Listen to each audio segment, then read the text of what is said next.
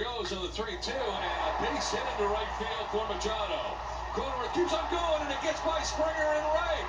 Here comes Jake all the way around. He will score. Manny's going to third, and the Padres win it 1-0. George Springer with a miscue in right.